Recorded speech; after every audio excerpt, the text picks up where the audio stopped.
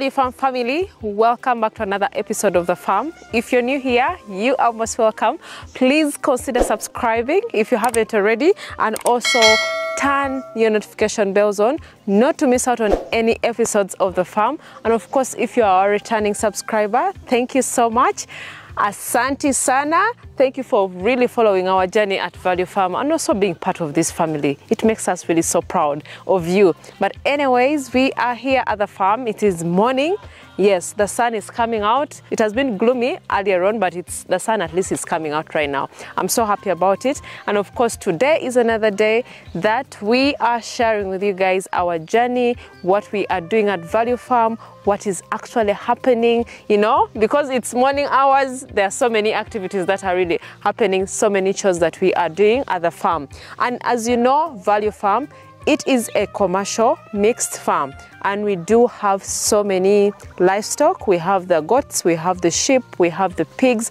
Then we also have poultry. We also have um, rabbits as well. Yes, so it's a commercial farm and we are here to share all our journey in different aspects of farming that we have at the farm. And today is just kind of a special day for us because you know, for those who have been really following our journey for a long period of time, you know that we planted some maize. Yes, and this maize is the one that we are using to feed our our animals at the farm and why we planted it it's because we wanted to cut the costs to cut the feeding costs at the farm. And why not really plant? Of course previous seasons we we planted our maize before but we had challenges. We had mistakes that we really made previously but this time round we really wanted to do it in a much better way. And at least the results are not disappointing. And today is the day guys. I shared with you guys our progress when we were planting when we were weeding when we were spraying. Now it is time for us to harvest the maize. You might be wondering how many acreages that we really planted? We planted a good number of acres of, of the maize. That's why we really wanted to do this in a much smarter way. Because the previous season, for those who have watched our videos, we had a few hiccups here and there because of um, little supervision. So this time round, we have our team, especially from the farm, that are part of the people that we hired to always help us do the harvesting. So we started with sections. We have to monitor section per section. That's what we are actually doing. So I wanted to take you guys so that you can see what we are doing today. Then we can proceed and do other things as well. So guys, come along with me so that we harvest some of the maize. As you can see here, by the way, the maize has already dried. Yeah. So this is ready drying on the cob and we are going to be harvesting it. Let me show you guys. That's how it looks like. Let me remove the, the hacks. So my team is already there ahead of me because um, what really happened as well, we had rains. You know, January. January, we didn't expect rain to be too much. So the stems really fell down as you can see here. Like this one really fell down. So we are trying to catch up with the ones that really fell down so that they don't rot because if you leave them down for a long period of time they will start rotting so the ones that are that are that fell are the ones that we are harvesting at the moment but for these ones that are still standing we shall come back later so that we can be able to harvest it. So this is what we are doing. We are going to have um, we have a machine that also helps us to decob to remove the seeds. So that is also coming up guys. If we have the opportunity i'll share with you guys when we are getting this maize. But so far so good as you can see. Not really bad and this is not the best section that really grew. So you can imagine where the maize is let's go to my colleagues so that we can share with you guys so that i can demonstrate for you what we are actually doing right now guys let's go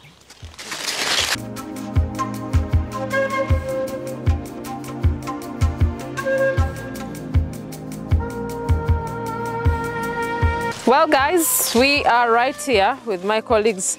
I think you can see everyone has their own sack, like my colleague right here.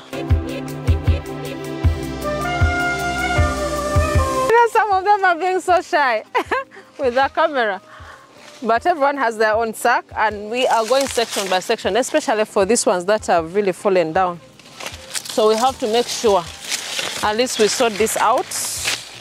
As you can see, you can even see that termites were even starting to to eat them up, which is not really so good. So we have a whole team that is helping us here. And we have um, other contracted people that we are going to definitely bring so they can also help us. Because the more we leave them on the ground, they are going to just um, rot. So you can even see we have more more maize here. It was even starting to to rot with the termites just within a short period of time. So you can imagine if you delay, the more you delay, the more wastage you get at the farm. So this is what is happening. We remove the cobs, we leave them here. I mean the outer covers you can see.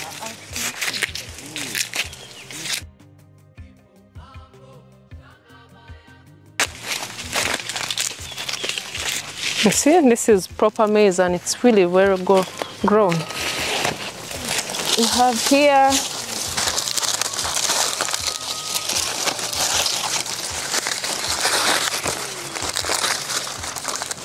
Yeah, it's quite tedious as well, but this is what we have to go through. It was really unexpected for us to have the maize falling, the way it's falling like this. We have some right here, so you can imagine. And remember there is more that is still on the stems like this one, that is still standing. So this one has to be harvested before it also starts falling down because we don't know when the, the rains are really going to stop. The rainy seasons have really changed. Seasons are different nowadays. So this is a lot of hard work at the farm, but we are not complaining. We are sure we shall definitely at least have a good harvest this season round and we shall have enough feeds for the animals as well. So that's what's actually happening. As you can see, this is going to go on till later. And the beauty is our staff that you're seeing right here are part of the farm, part of the people who take the animals out in the field to, to graze. They're already finished with their morning duties, especially like the cleaning. Yeah, they finished the cleaning of the goat houses, the pig houses. So they're helping out with the harvesting before they go outside, before they go again to graze. So that's what's actually happening. I'm so proud with the teamwork that we have at the farm because, you know, without teamwork, nothing can be done. So that's what we are trying to accomplish. Of course, some other people are still working because not everyone has to come to the garden. So there are some that we left behind to take care of other things, take care of the animals as well. Like my colleagues have gone to fetch water for the goats on the upper section of the farm. The ones at the lower section of the farm, we have already finished cutting the shrub for them. They're already feeding and there's someone taking care of them there. And of course, this other team right here are also helping out. So guys, let's get this started. You can even see this one. We have so many ant hills here. So if you're not careful, your maize can go to waste. That's why we have to really get a bigger team, but with strict supervision, guys. That is what's happening.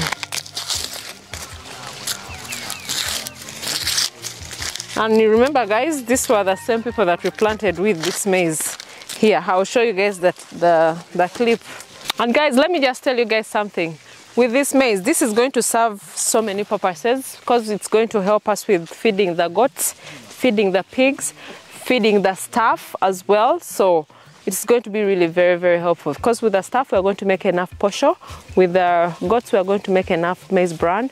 With, um, with um, still with this, we shall be able to make also broken for the chickens and also for the pigs and also for the goats. So it's going to be very helpful. We are going to cut the costs and for every farmer out there, if you do not really do an initiative of planting your own feeds. It's going to be very more costly for you because it's it's with the feed prices right now. They keep going up every now and again. And it's really very difficult for you to have animals and you're also spending a lot on buying feeds. It is too too expensive. So if you really try to really plant your own maize it is going to help you. If you plant your own soya it's going to be very helpful. Then also if you have your own machinery like other farm that you can even mill your own maize mill your own broken it's even the, it's even better you know? So that is what we're already planning. So this by the way after collecting like this we are going to dry it because it's not fully dry by the way still wet. So we are going to take it. We have a tarpaulin in our part of the farm that we are going to take. We are going to leave it to dry for some time before they start to to remove the the, the maize from the cob. Yes we have a small machine that we always use to remove the maize from the cob. How are your goats or the sheep? The sheep or goats sheep. Dopa. Dopa. That is what you're taking care of. Mm. So how are they? They are good. Hey, these ones even have termites in them.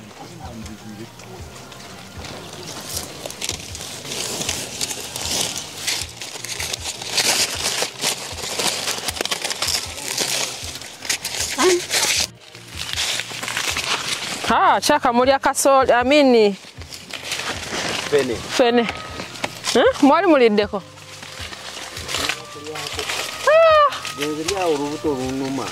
Simanyi ah! bimu tokaliire wat madamu, tokulya fene. Niyo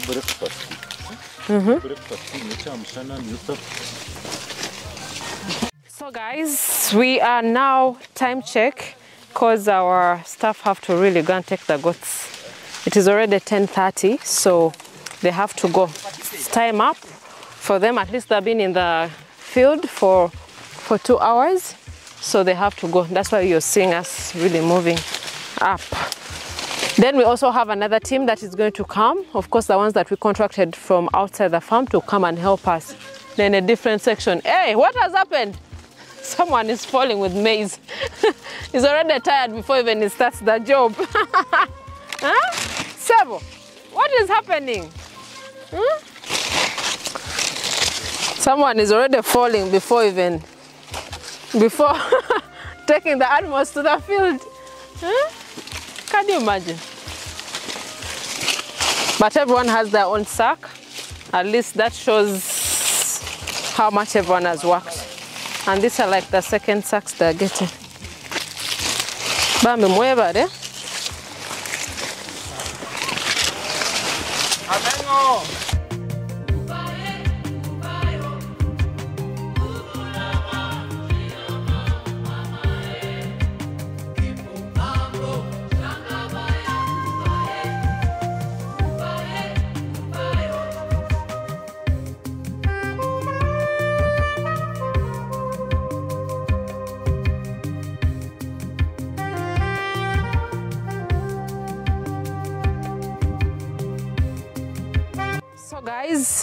at least that is the first part that we have done today. Of course, they work for only like two hours, then they're now going to take the goats to the field because at least the sun is out and it's time for them to at least rest a little bit before taking the goats outside. So those are some of the activities for today. Now let's go and check on the goats that we have on this other upper section. I don't know whether we can have a chance to see the ones that are that are down there, but let's first check the ones that are up here so that we can see how they are, how everything is this morning. And of course, I'll be sharing with you guys, you know, random things, random activities that we are currently doing at the farm. But at least I'm so proud with the team so far because of what they have done. They show that they are really, they love what they do. And of course, they, are, they also appreciate our efforts of how we treat them, how we make them comfortable at the farm. That's why you see that the energy is there for them to come and help us with the field work before they go to take the animals to the to graze outside. Yeah, so let's go guys so that I can show you what is happening on the other side of the farm. We go. Well, guys, I wanted also to show you guys something right here. We do have also some coffee plantation right here.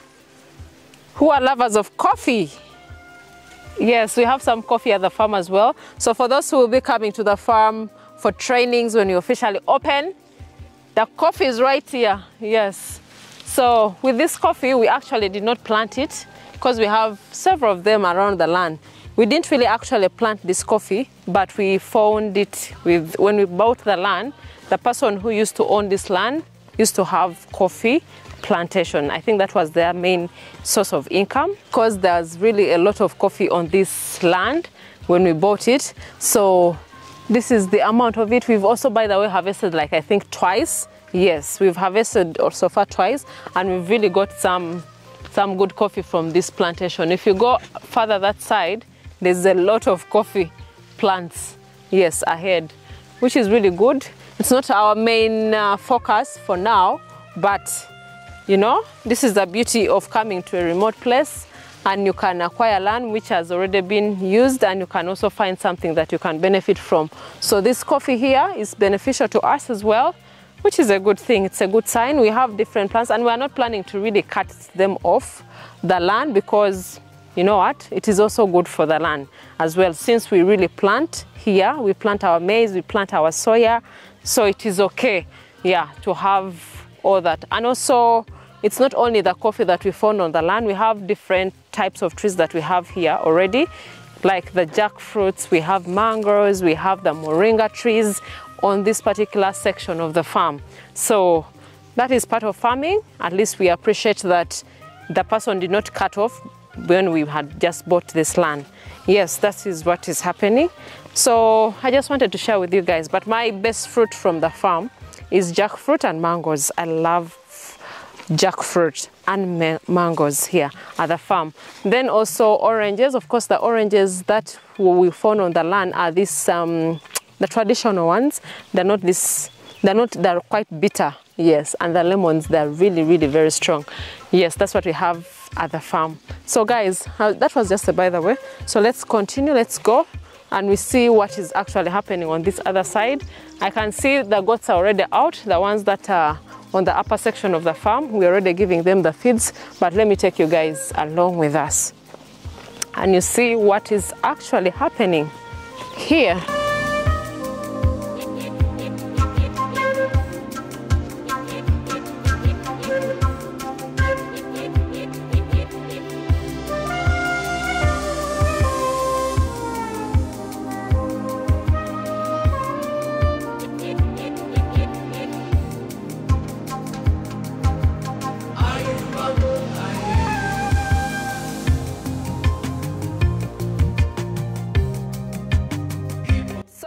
As you've really seen, these goats really love this these banana leaves right here. So every morning we also make sure that we bring for them. I don't know why they really love them because these are the pure South African goats as you can see, but they really, really love it. You can see they're really struggling to get all the leaves off off the banana leaf as you can see. They're even waiting for more, they're yearning for more. Then when you look at these others as well this way here, these ones are also struggling to finish up, so they really love the banana leaves a lot. And of course with the shrub, we do bring for them the shrub already, but this is already done. Within one minute, it's already done, as you can see. So it's at least good that we also have enough bananas at the farm. So we cut some of the banana leaves that are not really growing, that are not okay, and we give to the goats as you can see right here yes. And remember we also leave them to at least wither a little bit before we give to the goats to eat. Yeah but this is their best part of it. My friends are also back from fetching water so i'm gonna take you guys get some water for the goats. As you can see the goats are already yearning for the water. If you look at them from the background they are looking at us getting this water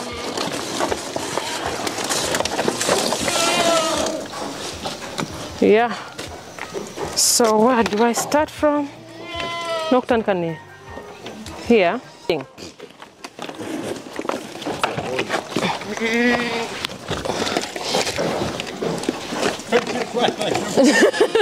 As you Kwata nyo break. so you have to pour the all yarning. Oh my god.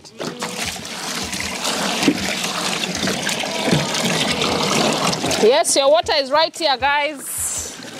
And this is clean water, as you can see, guys. Very clean.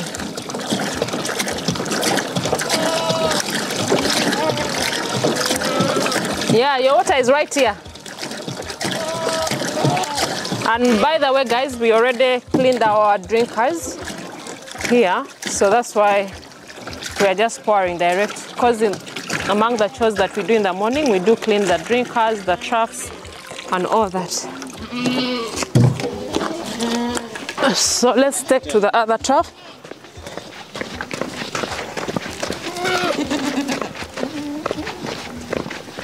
Water is here. This is also part of exercise. Then you start again. They are really very thirsty. You come and pour. It's even choking.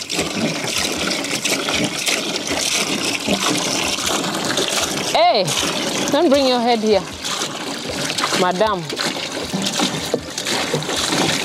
Then uh, we have to take water for the males. Remember, the males are separated from the females. These are only the females section, so the males are that side. Let's take for them.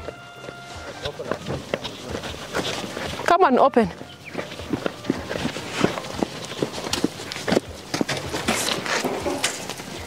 These ones are also very thirsty, guys. So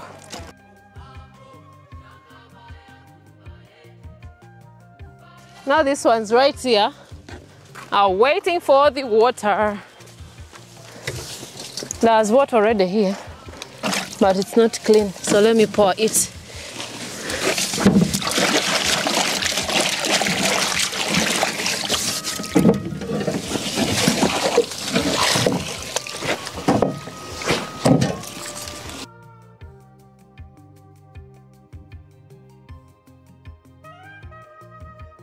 Have uh, the jerry can. So we have to get more water. The water source, by the way, is not that far. So we have to get more water for them. But remember, these goats are also going to go to the field. So this is like just the morning bit of it that we also give them. So as you can see, if you guys, if you guys really remember, the last time we were here, this wasn't cleared. I told you guys that we were going to clear it. Our team has already cleared this space at least, which is really amazing. We also gave the males their uh, the banana leaves. As you can see, they really love the banana leaves a lot.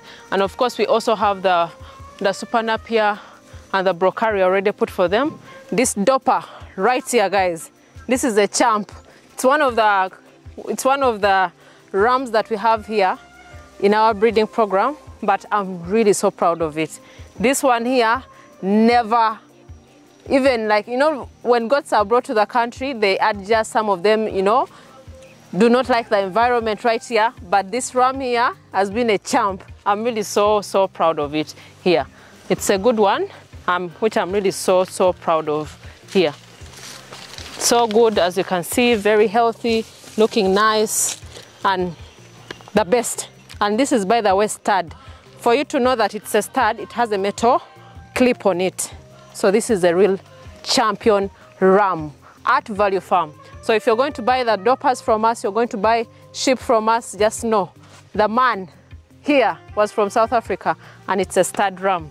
Then we have our gentlemen right here. These are also the men of the farm, the ones who are in our breeding program. They're just relaxing, you know, because they've already fed. Remember, they first had their, their grains already. Then um, we brought for them this other shrub then the leaves the banana leaves. They're happy. So they're relaxing here not so hungry. Then we shall also take them outside to graze more. Yes. We have that guy right there. That is the meat master. This is the most stubborn sheep we have. This meat master is the strongest very stubborn and you know the biggest here i should really say. You can see how he is He's always on standby, ready to fight. but it's a good one. So we have the Meat Master, we have the Ram, we have the Kalahari Red, guys. I don't know whether you saw this Kalahari Red. This is another one. This Kalahari Red right here. When they say Kalaharis can survive in any in any place, this one is an example as well. This one right here is one of the goats that have really not given us any issues at all. Yes, and it's a very young one, by the way. So I'm really so proud of it. As you can see, the champ walking, huh? Enjoying. Then we have our championship right here, the Boer. This one right here is a champ. I'm so proud of it. So friendly, very nice, very calm as well. So this is a pure Boer as well, a stud championship Boer with a certificate from South Africa.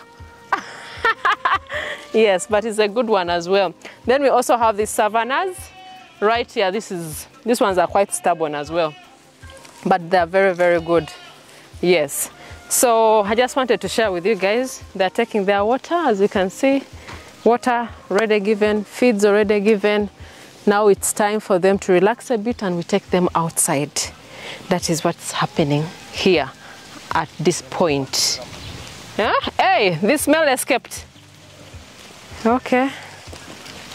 Yeah, so we always separate this one are just kept outside. Yes, guys, so that is it really.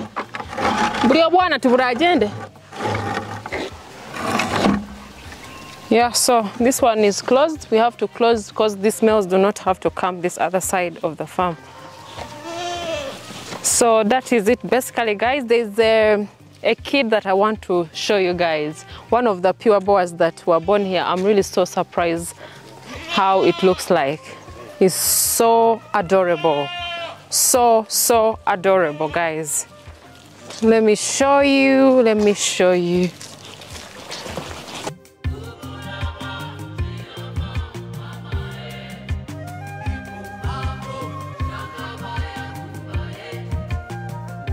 Guys, look at this champ right here.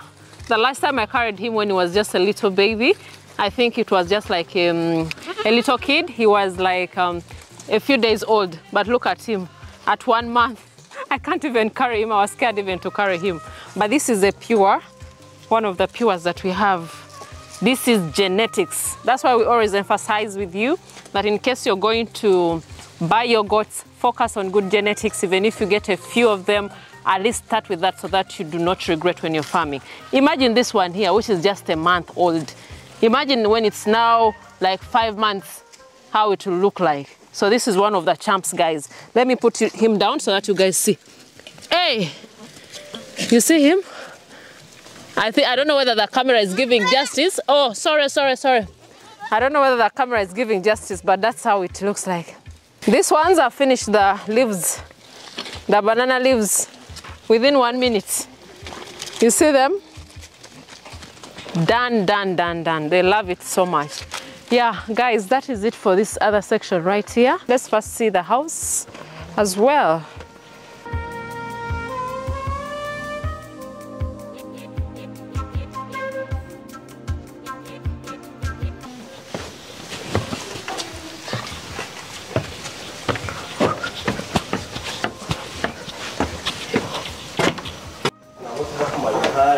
Yeah, guys, we are here. At least the house looks clean.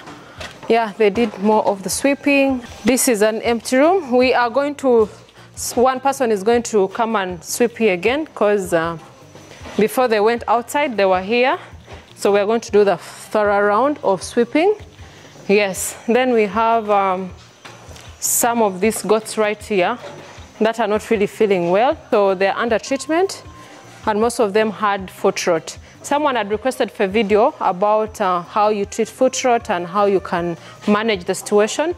I have a video that is going to be put up. I don't know whether by the time you watch this video you've already watched it, but we have that episode as well when we are treating and also managing the hooves of the goats, especially during rainy seasons. And um, they have maybe foot rot, they have overgrown hooves as well. So that's what is happening. So these ones here are remaining here, but we're already feeding them. We already have the grass. They've already eaten the grain first. Then we also have the grass that is going to be given to them. but these ones are remaining here. They can't go to the field, they can't go grazing as well because they can't really walk long distances. Yes, guys. So if you really have other questions, please leave them down below because we promised you that for these episodes, we are going to be showing you guys what is actually happening at the farm. We are going to do the chores together with you guys. We are going to answer all your questions that you leave in the comments. So don't get scared to leave your questions down below because we want to really answer all those questions because this year, no stone will be left unturned. That's the motto. Yes.